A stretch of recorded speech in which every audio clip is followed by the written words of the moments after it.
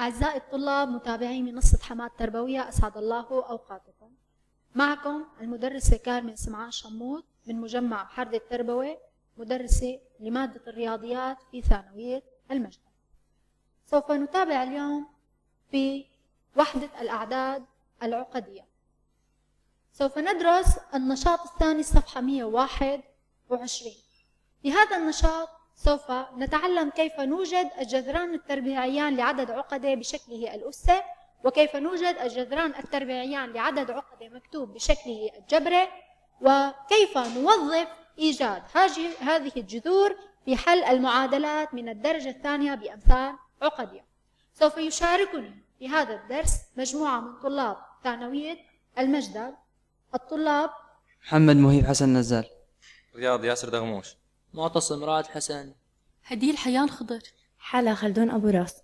إيلاف فواز الخالد أعزائي الطلاب أولا إذا كان لدينا عددا عقديا معلوما W كيف يمكن حل المعادلة Z مربع ناقص W يساوي صفر؟ لحل هذه المعادلة كنا نكتب Z مربع تساوي W ثم نقوم بجذر الطرفين. أي في هذه الحالة نحن نحتاج إلى حساب الجذور التربيعية للعدد W. لحساب هذه الجذور لنبدأ أولا في مناقشة إذا كان العدد W مكتوب بشكله الأس. إذا لحل المعادلة Z مربع ناقص W يساوي الصفر لنحاول كتابة العدد W بالشكل الأسي ويساوي R E أس I فاي والعدد Z يكتب بالشكل الأسي R E أس I تيتا عندئذ يؤول حل المعادلة السابقة إلى حل المعادلة Z مربع تساوي W. إذا قمنا بتعويض قيمة كل من Z و W في هذه المعادلة نجد أن Z مربع هي R E أس I تيتا مربع والW هي عبارة عن R E أس I فاي R E أس I تيتا للتربيع يمكن كتابتها حسب خواص كتابة العدد العقدة بالشكل الأسي R تربيع E أس I 2 تيتا أي ربعنا الطويلة وضربنا الزاوية باثنين. يتساوى العددان بالشكل الأسي إذا تساوت الطويلة مع الطويلة والزاوية مع الزاوية. وبالتالي نجد أن ال R مربع تساوي R أي R تساوي جذر ال R ميري والتيتا 2 تيتا تساوي فاي. وبالتالي فاي تس... تيتا تساوي فاي على 2 ومضاعفات هذه الزاوية. وبالتالي يكون للمعادلة حلان إذا نحن نوجد الجذور التربيعية. لكل عدد عقدة جذران تربيعيان. وبالتالي لهذه المعادلة يوجد جذران أو حلان. هما الحل الأول زد واحد والحل الثاني زد اثنين هو معاكس زد واحد. أي الجذور التربيعية لعدد عقدة هما جذران متعاكسان بالإشارة. حيث زد واحد هو عبارة عن جذر R بإي أس آي فاي على 2 أي بمعنى آخر طلاب لحل المعادلة زد مربع ناقص W يساوي الصفر أولا نكتب العدد W بالشكل الأسي فيكون للمعادلة جذران الجذر الأول نحصل عليه بجذر طويلة W وقسمة الزاوية على 2 نجذر طويلة العدد W ونقسم الزاوية على 2 إذا زاويته فاي نقسم على 2 الزاوية هي فاي على 2 الجذر الثاني هو معاكس الجذر الأول أي نضرب الجذر الأول بإشارة سالب لنأخذ مثال عين الجذور التربيعية للعدد Z ويساوي I. أولا لنبدأ بكتابة العدد I بالشكل الأسي من دروس سابقة العدد I هو عدد تخيلي بحت وكل عدد تخيلي بحت زاويته هي B على 2 وبالتالي العدد I يكتب بالشكل الأسي E أس I B على 2 أي؟ طويلته وتساوي واحد وزاويته هي عبارة عن B. على 2 بالاستفادة من الشكل الأسي للعدد I لنحاول الآن إيجاد الجذرين التربيعيين لهذا العدد. لحساب الجذر التربيعي الأول الحل الأول هو عبارة عن جذر الطويلة في إي أس فاي على 2 أي نجذر الطويلة ونقسم الزاوية على 2 الطويلة هي أمثال i وهي واحد. والزاوية هي بي على 2 نقسمها على 2 تصبح بي على 4 إذا نجذر الطويلة جذر الواحد ويساوي واحد. نقسم الزاوية على 2 بي على 2 وتساوي بي على 4 إذا الجذر الأول e أس i بي على 4 لنحاول الانتقال من الشكل الأسي إلى الشكل الجبري للانتقال أولا نكتب الشكل المثلثي وهو cosine تيتا زائد i sine تيتا يعني cosine بي لأربعة زائد i sine البي لأربعة وهي زاوية شهيرة cosine البي لأربعة جذر الاثنين لاثنين و sine البي لأربعة هو جذر الاثنين على اثنين. نكون كتبنا الجذر الأول بالشكل الأسي والمثلثي والجبري الجذر الثاني هو معاكس الجذر الأول. أي نقوم بضرب الناتج النهائي بإشارة سالب أي الجذر الثاني z واحد هو ناقص z صفر ويساوي ناقص e أس i بي لأربعة أي ناقص جذر الاثنين لاثنين ناقص i جذر الاثنين على اثنين. الآن كيف يمكن إيجاد الجذران التربيعيان بالاستفادة من الشكل الجبري للعدد العقد؟ لحل المعادلة z مربع ناقص w يساوي الصفر نكتب العدد w بشكله الجبري وهو a زائد ib والعدد z بشكله الجبري وهو x زائد i y. إذا العدد w هو عدد عقدي معلوم. كتبناه بشكله الجبري a زائد ib والعدد z هو عدد عقدي مجهول. فرمزنا له z يساوي x زائد i y. فيقول حل المعادلة. Z مربع ناقص w بنقل ناقص w إلى الطرف الثاني. إلى حل المعادلة z مربع وتساوي w. نعوض قيمة كل من z و w من الفرضية السابقة. فنجد أن z مربع هي عبارة عن x زائد i y مربع تساوي w. هي عبارة عن a زائد i الآن لدينا في الطرف الأيسر متطابقة من الدرجة الثانية بنشر هذه المتطابقة تصبح x مربع زائد 2 x i y زائد i مربع y يعني ناقص y تربيع. للمساواة بين عددين عقديين بالشكل الجبري نطابق الجزء الحقيقي مع الجزء الحقيقي والجزء التخيلي مع الجزء التخيلي. إذا نطابق الجزء الحقيقي مع الجزء الحقيقي والجزء التخيلي مع الجزء التخيلي. بهذه المطابقة سوف نحصل على معادلتين هما x مربع ناقص y مربع وتساوي a والمعادلة الثانية هي 2 xy وتساوي البي لكن من جهة ثانية طلاب بما أن العدد z تربيع يساوي w. إذا قمنا بأخذ الطويلة بطرفي العلاقة الأخيرة لدينا طويلة z للتربيع تساوي طويلة w. إذا طويلة z للتربيع تساوي طويلة w. كيف يمكن حساب طويلة z للتربيع؟ طويلة زد هي تحت الجذر مربع الجزء الحقيقي زائد مربع الجزء التخيلي أي هي x مربع زائد y مربع تحت الجذر. وبما أنه في تربيع نزال الجذر فبيبقى x مربع زائد y مربع. تساوي طويلة W هي مربع الجزء الحقيقي يعني تحت الجذر A تربيع زائد مربع الجزء التخيلي يعني زائد B تربيع. وبالتالي سوف نحصل على العلاقة x مربع زائد y مربع تساوي جذر a مربع زائد b مربع. إذا تحول حل المعادلة z مربع زائد w إلى حل جملة ثلاث معادلات بالمجهولين x و y. إذا المهمة هي حل المعادلات الثلاث وحساب قيمة كل من x و y. عندها يتم حساب الجذور التربيعية للعدد z الذي كتب بالشكل الجبري لنأخذ مثال حل في سي المعادلة z مربع تساوي ناقص 3 زائد 4 i طلاب بداية.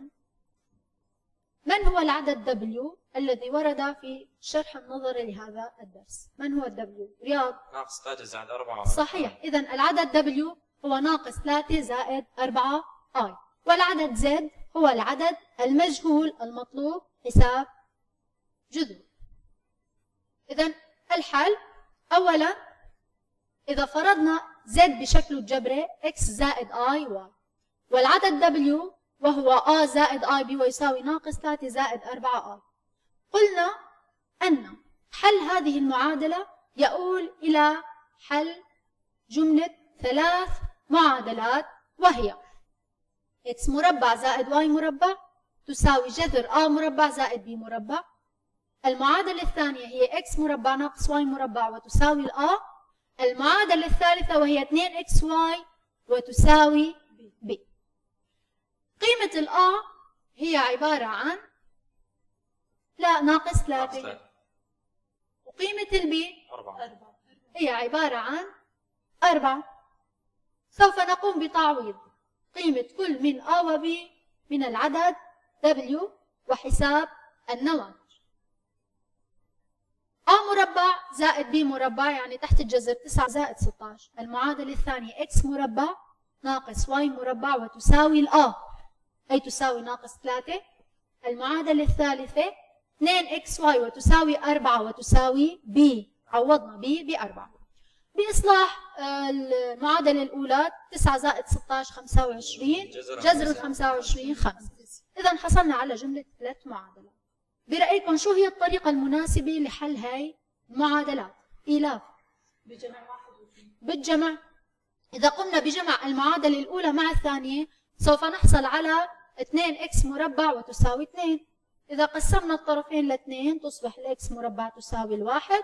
إذا جذرنا الطرفين يوجد قيمتين ل x إما زائد واحد أو ناقص واحد. إذا بهذا نكون قد حسبنا قيمة x.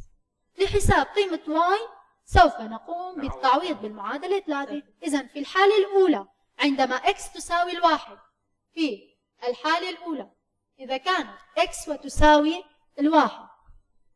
نقوم بتعويضها في المعادلة الثالثة فتصبح 2 في 1 في y وتساوي الأربعة.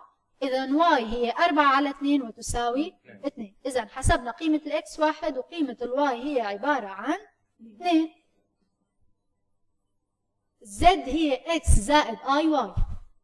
ال x شو قيمتها؟ واحد. وال y شو قيمتها؟ اثنين. وهذا هو أول جذر. إذا الجذر الأول للمعادلة z تساوي واحد زائد اثنين. آر الجذر الثاني طلاب. الجذر الثاني هو معاكس الجذر الأول. فيمكن مباشرة حسابه. هو عبارة عن ناقص واحد ناقص اثنين آر أو ممكن مثل الحالة الأولى نعوض قيمة الثانية ل x اللي هو x يساوي ناقص واحد بالمعادلة الثالثة فنحصل على y تساوي ناقص اثنين ونحصل على الجذر الثاني إذا يمكن مباشرة z اثنين هو معاكس z واحد ويمكن أيضا التعويض بالمعادلة. لا. هكذا نكون قد وجدنا حلا المعادلة المطلوب. مثال آخر. حل المعادلة z مربع تساوي واحد زائد i بأسلوبين. نحتاج الحل بأسلوبين. ثم استنتج النسب المثلثية للزاوية b على 8 طلاب إذا هذا التمرين في عنده ثلاث مراحل للعمل. المرحلة الأولى هي إيجاد الجذرين التربيعيين للعدد واحد زائد i بشكله جبري وأيضا. المرحلة الثانية بشكله الأسي والمرحلة الثالثة استنتاج النسب المثلثية للزاوية B على 8 تمام؟ لنبدأ أولا بحساب الجذور التربيعية بالشكل الأسي المرحلة الأولى هي كتابة العدد واحد زائد آي بالشكل الأسي من يساعدني بكتابة العدد واحد زائد آي بالشكل الأسي معتصم. يكتب الشكل الأسي للعدد واحد زائد آي تحت الجذر مربع الواحد زائد مربع واحد جذر الاثنين. إذا أولا نحسب الطويلة R تساوي تحت الجذر واحد زائد واحد ويساوي جذر. جذر الاثنين. تمام. إذا حسبنا الطويلة. ثم الزاوية cosine الثيتا تساوي a على جذر الاثنين. صحيح. يعني واحد على جذر الاثنين. و sine الثيتا تساوي b على جذر الاثنين يعني واحد على جذر الاثنين. صحيح. إذا الزاوية بي على أربعة. صحيح. لتحديد الزاوية نقوم بحساب sine و cosine. ال cosine هو عبارة عن الجزء الحقيقي على الطويلة يعني هو واحد على جذر الاثنين. والجزء التخيلي هو الج... أو عفوا و sine الزاوية هو عبارة عن الجزء التخيلي على الطويلة يعني أيضا هو واحد على جذر الاثنين. الزاوية الشهيرة التي sine ها واحد على جذر الاثنين وال cosine واحد على جذر الاثنين هي بي على أربعة إذا الشكل الأسي للعدد W حسبنا الطويلة جذر الاثنين.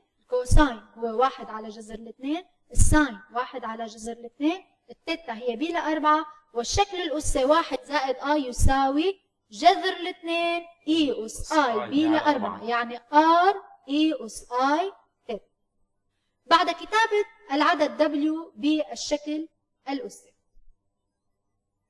قلنا لإيجاد الجذرين التربيعيين نقوم بجذر الطويلة وقسمة الزاوية على اثنين. نجذر الطويلة ونقسم الزاوية على اثنين. الطويلة هي جذر الاثنين. جذر الطويلة جذر اثنين بس أربعة.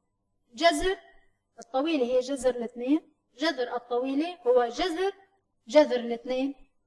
جذر جذر الاثنين يعني هو الجذر من المرتبة أربعة للعدد اثنين. نقسم الزاوية على اثنين. الزاوية هي بي على أربعة.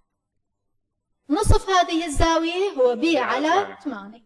إذا الجذر الأول هو جذر الاثنين من المرتبة الرابعة في e أس i بي على ثمانية. هذا هو الحل الأول. لنكتب هذا الحل بالشكل المثلثي هو عبارة عن R e أس i تيتا يساوي R cosine تيتا زائد R sine تيتا فإذا الشكل المثلثي للعدد جذر من المرتبة الرابعة لاثنين ب e أس i بي لثمانية هو جذر من المرتبة الرابعة للعدد اثنين. cosine بي لثمانية زائد i في الجذر من المرتبة الرابعة للعدد اثنين في sine البي على 8 حولناه من الشكل الأسي إلى الشكل المثلثي. الجذر الثاني هو معاكس الجذر الأول فهو مباشرة ناقص الجذر من المرتبة الرابعة للعدد 2 cosine بي ل 8 ناقص i جذر من المرتبة الرابعة للعدد 2 sine البي على 8 إذا الجذر الثاني معاكس الأول فقط. ضربنا بإشارة سالب انتهت المرحلة الأولى من التمرين وهي الحساب. الجذور التربيعية أو حل المعادلة باستخدام الشكل الأسي لنحل بأسلوب آخر. إذا المطلوب الحل بأسلوبين. الأسلوب الآخر هو الشكل الجبري للعدد الأول لنفترض أن زد بالشكل الجبري وهو عدد مجهول نفرض شكله الجبري x زائد i y. أما العدد الثاني وهو العدد المعلوم وهو w يساوي a زائد i b أي واحد زائد r. إذا قيمة ال a هي عبارة عن قيمة ال a هي عبارة عن واحد وقيمة ال b هي أمثال ال i أيضا هي واحد. ال a واحد وال b واحد. لإيجاد الجذور بالشكل الجبري نحل جملة ثلاث معادلات. معادلات. ما هي هذه المعادلات؟ الثلاث. من المساواة زد مربع تساوي دبليو نستنتج الجمل الثلاث. X مربع زائد y مربع تساوي تحت الجذر a مربع زائد b مربع. X مربع ناقص y مربع يساوي a و 2xy وتساوي b. الآن سوف نقوم بتعويض قيمة كل من a و b بهذه المعادلات. نجد x مربع زائد y مربع تساوي تحت الجذر واحد زائد واحد. X مربع ناقص y مربع وتساوي a أي تساوي الواحد. 2 xy وتساوي الb أي تساوي الواحد بإصلاح المعادلة الأولى يصبح الطرف الثاني جذر الاثنين الآن كما المثال السابق نقوم بجمع المعادلتين الأولى والثانية لحساب قيمة x. فيصبح 2x تربيع يساوي 1 زائد جذر الاثنين إذا بجمع المعادلتين الأولى والثانية 2 x تربيع يساوي جذر الاثنين زائد واحد واحد زائد جذر الاثنين لا فرق. الجمع عملية تبديل. الآن نقسم الطرفين على العدد 2 فيصبح الاكس تربيع يساوي جذر الاثنين زائد واحد على 2 نحتاج إلى قيمة x. لذلك سوف نجذر الطرفين. ولكن قبل جذر الطرفين سوف أقوم بضرب البسط والمقام بالعدد اثنين. السبب يصبح المقام هو العدد أربعة وجذر الأربعة هو اثنين. يصبح الكتابة بشكل أبسط. إذا لنبدأ أولا بضرب البسط والمقام في إكس تربيع بالعدد اثنين. يصبح بالشكل اثنين جذر اثنين زائد اثنين على أربعة. الآن نجذر الإكس لها قيمتين جذر موجب وسالب وهو جذر البسط جذر تحت الجذر 2 جذر 2 زائد 2 أما جذر المقام أي جذر العدد 4 وهو 2 لنقوم الآن بحساب القيمة المجهولة الثانية من z وهي y نحن قمنا بحساب x الآن. لنقوم بإيجاد قيمة y لحساب قيمة y نقوم بالتعويض بالمعادلة الثالثة. نعوض قيمة x الأولى وهي جذر الاثنين جذر الاثنين زائد اثنين على اثنين بالمعادلة الثالثة. يعني عندي هون اثنين ضرب x ضرب y يساوي الواحد. لاحظ؟ هون عندي عدد اثنين وهون بمقام ال x عندي عدد اثنين. فأنا عم قول اثنين x راحت الاثنين مع الاثنين فبيبقى لدينا البسط فقط وهو جذر الاثنين جذر الاثنين زائد اثنين. الآن ال y هي واحد على هذا المقدار أي هي واحد على جذر الاثنين جذر الاثنين زائد الاثنين إذا حسبنا قيمة x وحسبنا قيمة y الموافقة لها. سوف نقوم بالتخلص من الجذر الموجود بمقام العدد واو عمليات حسابية إضافية. سوف نقوم بالضرب بمرافق المقام وهو 2 جذر الاثنين ناقص 2 نضرب البسط والمقام بهذا المقدار. إذا ضربنا الواحد بهذا المقدار بيبقى جذر الاثنين جذر الاثنين ناقص 2 إذا ضربنا المقام بهذا المقدار لاحظوا معي. هذا المقدار وهذا المقدار مترافقان. 2 جذر الاثنين زائد 2 واثنين جذر الاثنين ناقص اثنين مترافقان فحاصل ضربهما متطابقة تربيعية وهو مربع الأول ناقص مربع. الثاني. مربع الأول ثمانية. ناقص مربع الثاني يعني ناقص أربعة. فبيبقى أربعة. وفي جذر كمان جذر الأربعة ويساوي اثنين. فأصبحت قيمة الواي بعد التبسيط هي جذر الاثنين جذر الاثنين ناقص اثنين على اثنين.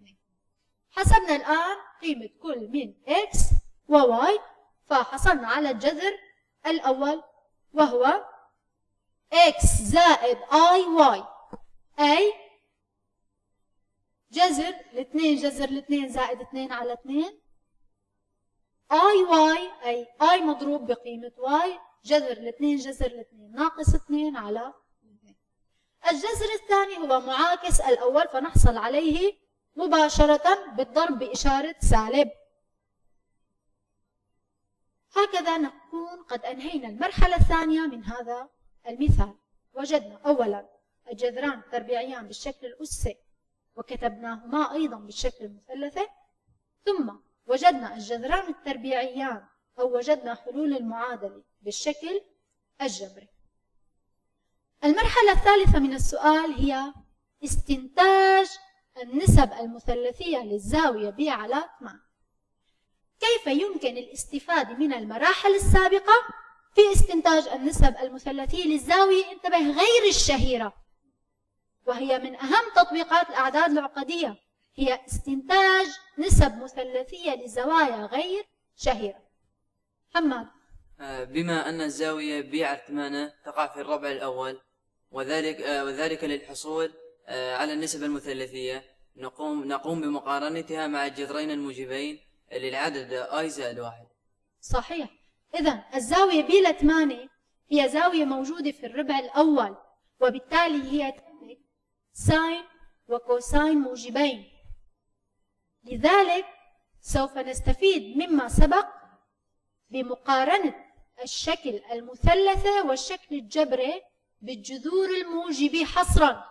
إذا الزاوية بي على 8 بالربع الأول. لذلك سوف أقوم بمقارنة الجذرين الموجبين. فللعدد واحد زائد i فالجذر الأول z واحد بالشكل المثلثي هو الجذر من المرتبة أربعة للعدد اثنين. cosine بي لثمانية زائد i في الجذر من المرتبة الرابعة للعدد اثنين. sine بي لثمانية أما بالشكل الجبري نتج الحل جذر الاثنين جذر الاثنين زائد اثنين على اثنين زائد i في جذر الاثنين جذر الاثنين ناقص اثنين على اثنين. بالمطابقة بين الشكل المثلثي والشكل الجبري نحصل على النسب المثلثية للزاوية بي على 8 لنبدأ أولا بمطابقة الجزئين الحقيقية الجزء الحقيقي بالشكل الجبري جذر الاثنين جذر الاثنين زائد اثنين على اثنين. الجزء الحقيقي بالشكل المثلثي هو الجذر الرابع للعدد اثنين ب cosine البي على 8 نحن بحاجة إلى حساب النسب المثلثية للزاوية بي على 8 لذلك سوف نقسم الطرفين على المقدار الجذر من المرتبة أربعة للعدد اثنين نجد عندها أن cosine البي لثمانية هي عبارة عن جذر الاثنين جذر الاثنين زائد اثنين على اثنين موجودة بالمقام وأيضا قسمت على الجذر من المرتبة الرابعة للعدد اثنين. هلأ الجذر من المرتبة الرابعة للعدد اثنين هو عبارة عن جذر جذر. سوف أقوم بدمج باستخدام خواص الجذور سوف أقوم بدمج الجذر في البسط مع الجذر في المقام وتصبح الكتابة بالشكل نص نص اللي هي الاثنين كانت بالمقام. ودمجت الجذر فأصبح من الشكل وقمت بإخراج الاثنين عامل مشترك من البسط. اثنين في جذر الاثنين زائد واحد على جذر. الاثنين مرة ثانية. سوف أقوم بضرب البسط والمقام بجذر الاثنين حتى نتخلص من الجذر الموجود بالمقام. فجذر الاثنين ضرب جذر الاثنين هو عبارة عن اثنين. و البسط جذر الاثنين رح ادخله للقوس. جذر الاثنين ضرب جذر الاثنين باثنين. واحد ضرب جذر الاثنين بجذر الاثنين. واضح الآن سوف نختصر جذر الاثنين مع الاثنين بالبسط بناء المقام ينتج لدينا الناتج الأخير جذر الاثنين زائد جذر الاثنين على اثنين. طبعا طلاب هاي الاثنين الموجودة بالأخير هون هاي الاثنين هي النص. تمام هي النص. عرفنا كيف؟ إذا الاثنين راحت مع الاثنين يبقى عندنا الجذر موجود بالبسط وهي النص هي الاثنين الموجودة في المقام. إذا هذا هو كوساين ب على 8 الآن كيف نحصل على sine الزاوية بي على 8 بمتابعة المطابقة. الآن ال sine هو من مقارنة الأجزاء التخيلية. تمام. الجزء التخيلي بالشكل الجبري هو جذر الاثنين جذر الاثنين ناقص اثنين على اثنين. الجزء التخيلي في الشكل المثلثي هو الجذر من المرتبة أربعة للاثنين في sine البي 8 بنفس الطريقة السابقة نقوم بعزل sine البي 8 والآن بتحويل الجذر من المرتبة 4 ل 2 إلى جذر الاثنين جذر الاثنين. دمج الجذور بين البسط والمقام والإصلاح والاختصار. نجد أن sine الزاوية بي على 8 هي الجذر الاثنين ناقص جذر الاثنين على وهكذا نكون قد وظفنا الشكل الجبري والشكل المثلثي في استنتاج النسب المثلثية للزاوية الغير شهيرة بي على 8 وهي sine بي ل 8 جذر. الاثنين ناقص جذر الاثنين لاثنين cosine البي ل 8 هي جذر. الاثنين زائد جذر الاثنين على كيف نستفيد من هذا النشاط؟ في حل معادلات من الدرجة الثانية ولكن بأمثال عقدية. طلاب في درس سابق في وحدة الأعداد العقدية تعلمنا حل معادلات من الدرجة الثانية ولكن أكدنا أن الأمثال حقيقية. أما الآن سوف نحل معادلات من الدرجة الثانية ولكن الأمثال عقد أولا ما هي المعادلة من الدرجة الثانية بأمثال عقدية؟ هي كأي معادلة من الدرجة الثانية A زد مربع زائد B زد زائد C ويساوي الصفر لكن الأمثال A و B و C أعداد عقدية هذا هو الفرق كيف نحل هذه المعادلة؟ كالمعتاد باستخدام المميز دلتا ب مربع ناقص 4 آسي ولكن هنا نميز حالتان فقط نميز حالتان الحالة الأولى. إذا كان المميز لا يساوي الصفر. أي المميز غير معدوم للمعادلة حلان مختلفان فنحن عادة في حل معادلات باستخدام المميز نحتاج إلى إيجاد جذري المميز. المختلف في هذه المعادلة أن المميز هو عدد عقديه المميز هو عدد عقدي فلحساب جذر المميز نحتاج إلى حساب الجذرين التربيعيين لعدد عقدي فافترضنا أن الجذرين التربيعيين هما W1 و W2 ولكن في النشاط قلنا أن الجذران متعاكسان. لذلك لنسمي أحد هذين الجذرين هو W فيكون الآخر هو معاكسه أي ناقص W. فيصبح الحلان للمعادلة هما ناقص B زائد W على 2A أي W هي حلت مكان جذر الدلتا. ناقص B ناقص W على 2A إذا نفس القوانين السابقة ولكن جذر المميز رمزناه بالعدد W. W زائد W والجذر الآخر هو ناقص W.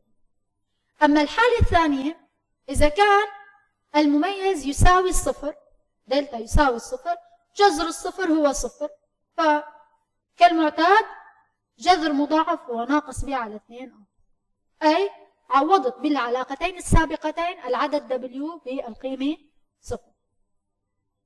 إذا حل للمعادلة حلان مختلفان في حال دلتا لا تساوي الصفر وحل وحيد مضاعف هو ناقص ب على 2 a في حال دلتا وتساوي الصفر لنتناول من تمرينات ومسائل الصفحة 124 تمرين 14 الطلب الثاني حل في C المعادلات الآتية. لاحظ أن المعادلتين هما معادلتين من الدرجة الثانية. لنبدأ الآن بالمعادلة الأولى. المعادلة الأولى زد مربع زائد واحد زائد أربعة آي في زد ناقص خمسة ناقص آي ويساوي الصفر هذه المعادلة من الدرجة الثانية هل هي بأمثال حقيقية أم بأمثال عقدية؟ إله أمثال عقدية أمثال عقدية إله ساعدني شو هي قيمة ال a؟ واحد واحد شو هي قيمة ال b؟ واحد زائد أربعة i. شو هي قيمة سي؟ ناقص خمسة ناقص i. صحيح الآن لحل هذه المعادلة نوجد المميز المميز هو ب مربع ناقص 4 a c نستبدل كل مقدار بما يساويه ب مربع 1 زائد 4 i تربيع ناقص 4 الآ هي 1 والسي هي ناقص 5 ناقص. الآن لدينا نشر متطابقة ونشر الأقواس. نشر المتطابقة مربع الأول ضعفي الأول في الثاني مربع الثاني. انتبه الآي تربيع هي ناقص واحد. وهون نشر قوس عادي. ناقص أربعة ضرب ناقص خمسة زائد عشرين. ناقص أربعة ضرب ناقص آي زائد أربعة آي. بجمع الأجزاء المتشابهة ينتج دلتا هو 5 زائد 12 i إذا المرحلة الأولى وجدنا المميز دلتا. دلتا هل يساوي الصفر أو لا يساوي الصفر؟ لا يساوي الصفر. إذا للمعادلة حلان مختلفان. وهون لازم ننبهكم على شيء مهم. وقت كنا نحل معادلات من الدرجة الثانية بأمثال حقيقية. إذا كانت الدلتا لا تساوي الصفر كنا نقول لدينا حلان آه إذا كان دلتا أكبر من الصفر حقيقيان مختلفان. وإذا الدلتا أصغر من الصفر حلان عقديان مترافقان. إذا بالأمثال الحقيقية الحلان مترافقان. أما هون الأمثال عقدية. الحلان ليسا مترافقين. إذا زد واحد وزد اثنين غير مترافقين. إجباري حساب يتم عن طريق القانون. هلق لتطبيق القانون نحن بحاجة إلى W. W هو الجذر التربيعي للمميز دلتا. المميز دلتا بأي شكل مكتوب؟ بالشكل الأسي أم الشكل الجبري؟ جبري. بالشكل الجبري. إذا نحن الآن بحاجة إلى حساب جذور المميز وهو عدد عقد مكتوب بالشكل الجبري. وهو موضوع النشاط الذي تناولناه ببداية هذا الدرس. ففعليا هذا هو الآ هذا هو الآ بالنشاط وهذا هو البي إذا العدد المعلوم العدد المعلوم هو A زائد آي بي نحتاج الآن إلى حساب الجذور التربيعي.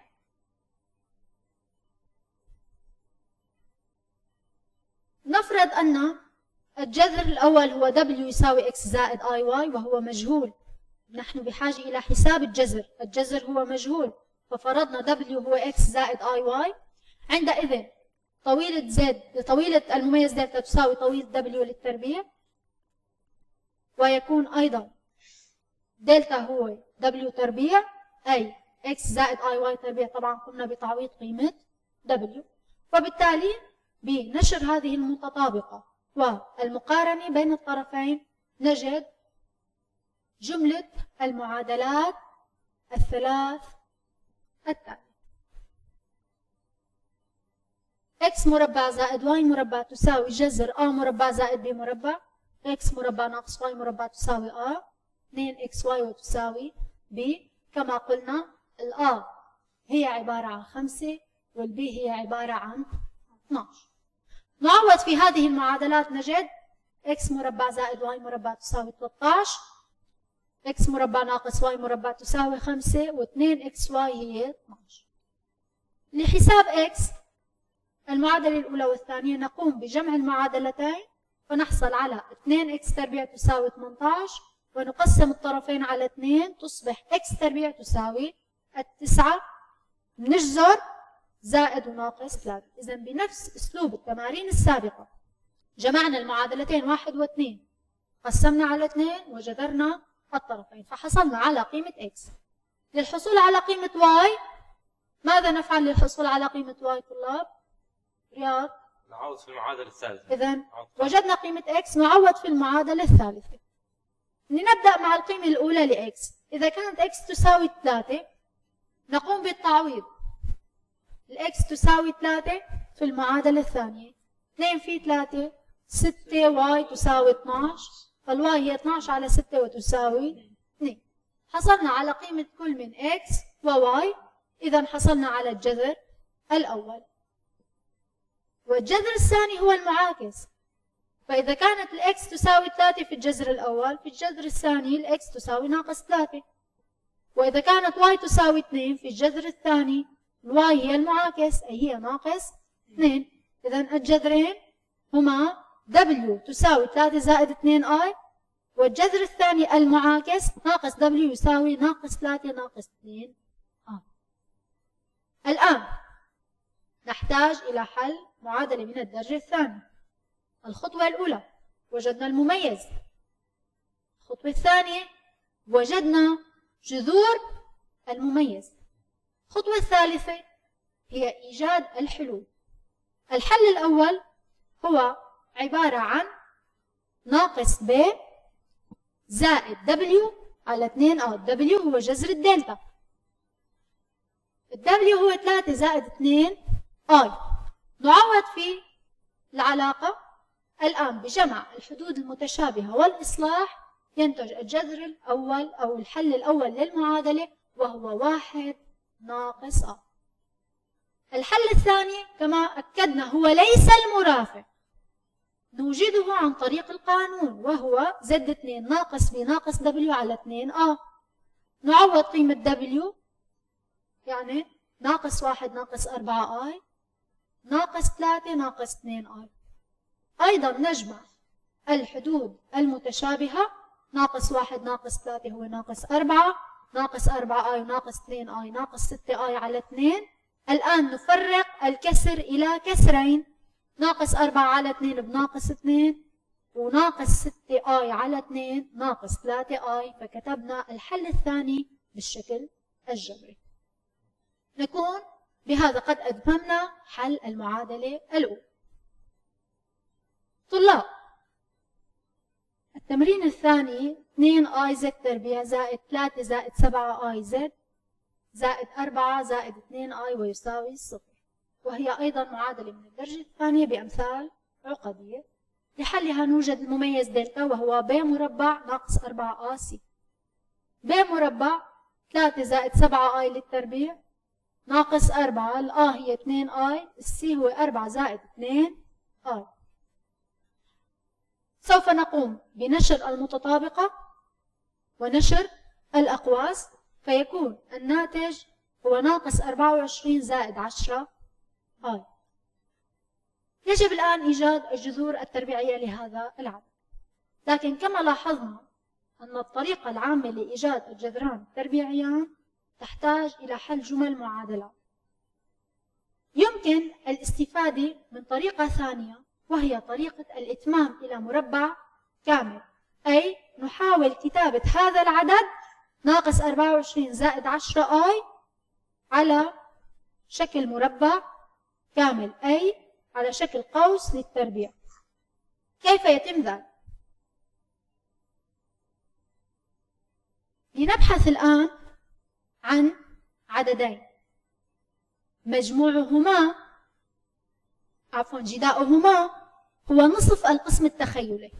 أي جداؤهما القسم التخيلي هو عشرة جداؤهما نصف القسم التخيلي أي خمسة. عددين جداؤهما خمسة. والفرق بين مربعيهما ناقص أربعة وعشرين. الفرق بين مربعيهما ناقص أربعة وعشرين. ما هما هذين العددين؟ معتصم خمسة والواحد. خمسة وواحد صحيح؟ إذا العدد خمسة والعدد واحد. إذا يمكن كتابة المميز دلتا على شكل مربع كامل بالاستفادة من العددين خمسة واحد بالشكل التالي. ناقص أربعة وعشرين زائد عشرة آي يساوي واحد زائد عشرة آي زائد خمسة وعشرين آي تربيع ويساوي واحد زائد خمسة آي للتربيع. إذا مباشرة بحثنا عن عددين جداؤهما نصف. القسم التخيلي جداؤهما خمسة. والفرق بين المربعين هو سالب 24 هي إشارة السالب هي اللي فرضت علي وضع العدد الكبير خمسة هو أمثال للآي. إذا لأن الجزء الحقيقي للمميز سالب فالعدد الأكبر هو أمثال الآي. الآن بما أن المميز كتب بالشكل واحد زائد خمسة آي للتربيع الجذر الأول هو عبارة عن جذر الواحد زائد خمسة آي للتربيع هو واحد زائد خمسة آي. الجذر يزيل التربيع. والجذر الآخر هو المعاكس ناقص واحد ناقص خمسة آي. وبذلك يكون الحل الأول هو ناقص ب يعني ناقص الحل الأول هو عبارة عن ناقص ب يعني ناقص ثلاثة ناقص سبعة آي. زائد جذر المميز W. جذر وهو W وهو واحد زائد خمسة آي. على اثنين آ يعني اثنين. مضروبة بآ شو هي قيمة الآ؟ اثنين آي. بجمع الحدود المتشابهة وتفريق الكسر ينتج ناقص نص زائد نص آي. الحل الآخر هو ناقص P ناقص W. ناقص W هو عبارة عن ناقص واحد ناقص خمسة آي على اثنين آ. يعني اثنين باثنين آي. أيضا بالجمع وتفريق الكسور ينتج ناقص ثلاثة زائد آي. وبهذا نكون قد وجدنا حلي هذه المعادلة وحسبنا الجذران التربيعيان بطريقة الإتمام إلى مربع كامل أعزائي الطلاب المعادلة الأخيرة. z مربع زائد واحد زائد ثمانية i ب z ناقص 17 زائد i وتساوي صفر.